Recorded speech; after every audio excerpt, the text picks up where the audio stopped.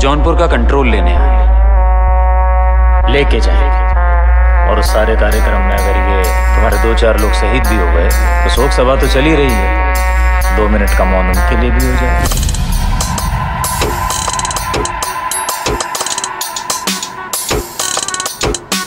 इस टाइप के आदमी है ना दादा।